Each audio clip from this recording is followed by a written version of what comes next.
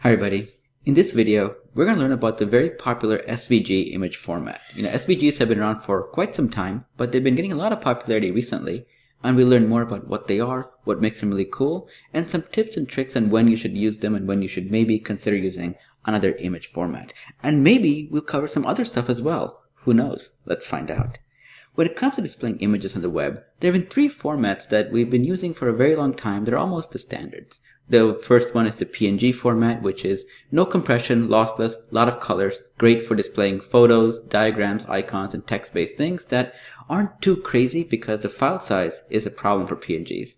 Whereas JPEG is also great for photos and things with a lot of colors, but it does introduce compression. So if you want really crisp or really precise lines or really sharp edges, JPEG may not be the best format, but it's a good compromise if you want a lot of pig visuals, but not too much in terms of file size. So it's a, you know, it's in the middle of these three things.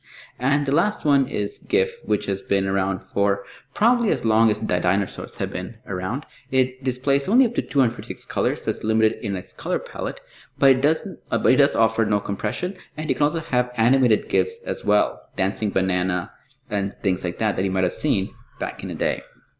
But SVG is something that is not new. It's an image format that's been around since 1999, and SVG stands for Scalable Vector Graphics. And it's one of those rare moments where each letter, this acronym, each word in the acronym, actually has a very important meaning. So why SVG? What is it about SVGs that makes them really interesting that we should consider using them? And the biggest thing is, it's a vector image format. And what that really means is this.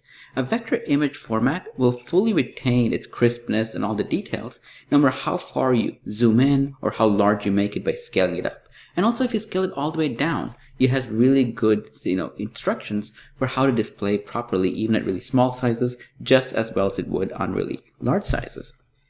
And so with traditional images, your GIFs, your PNGs, and JPEGs, let's say you have a small image and you make it larger, you're going to see what's known as compression. You're going to see artifact. You're going to see pixelation. You're going to see this weird rough edges that make your image look really low quality. But with an SVG format though, an image that is crisp at a certain size is very crisp even at a larger size or even a much smaller size as well. And the way it does it is not by storing pixel data like a traditional image format, it stores actual drawing instructions on how to draw the shape. This means that for any given width or height, your browser, your image editor, or whatever application you're in, the image is played appropriately because it's custom generated on the fly by whatever device it's in. Typically your browser, because that's what we tend to focus on a lot these days. So here's an example of what an SVG element or an image looks like. It's a separate file, just like every other image you might have. Doesn't have to be, but for now we'll just say it's a separate file. And notice what you see here.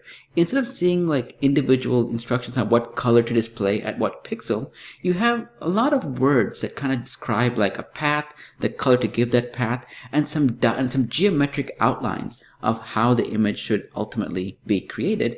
And then this allows for the browser, in this case, to adjust the path, adjust the size of everything, depending on how big the image ultimately needs to be. And so this flexibility is almost is great because this means that your image is optimized for whatever size you're displaying it for without having this predetermined arrangement of everything that needs to be calculated and oftentimes poorly calculated because it's often blurry in the case of PNG images, JPEGs, and GIFs. So the pixel data is known that we have in our PNGs, JPEGs, and GIFs. They're known as raster image formats, where SVG is a vector image format, our PNGs, JPEGs, and GIFs are raster image format. And these are images where actual pixel data is stored. And like I mentioned earlier, this pixel data is not flexible at all. Now, why does this matter? And the answer to this ties into why SVGs have gotten a lot of popularity, especially recently. It has to do with this. It has to do with the large number of devices these days that are capable of displaying web content and web formats such as SVGs.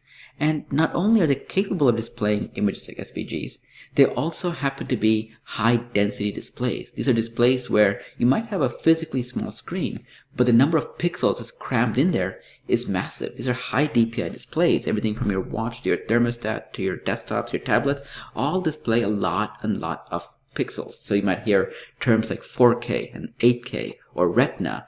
All these things are just different ways of saying there's a lot of pixels being displayed on these really small screens.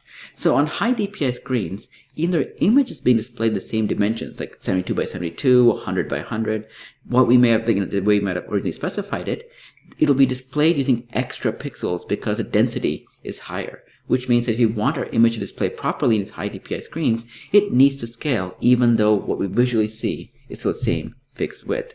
And so for fixed width and height. So with raster image formats, our images will always appear blurry or mostly appear blurry. So the physical screen is asking for more data than what the original image contains inside it. This means that you will have a wall of blurry images. And many of you who may have purchased a high DPI screen or a high DPI laptop uh, a while ago, let's say about three, four, five years ago, if you navigate to any of your websites, what you might have seen were variations of exactly this, where the images and icons and just other visuals appeared really blurry, which seemed really bizarre because nothing about your resolution necessarily changed, right?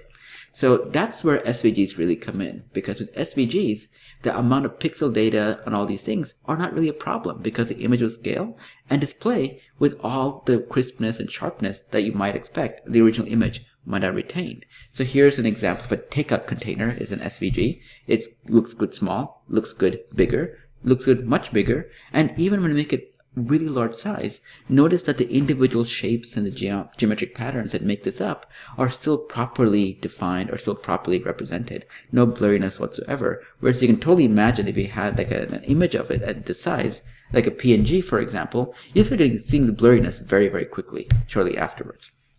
Now, with all the things that SVGs have going for it though, they're not perfect, which is why it's not the default format that all of us tend to use. And the reason is this is a terrible format for displaying really complex visuals like the photographs, like blocks of text, and other things that are more difficult to describe than by using simple lines and shapes and paths and other geometric instructions.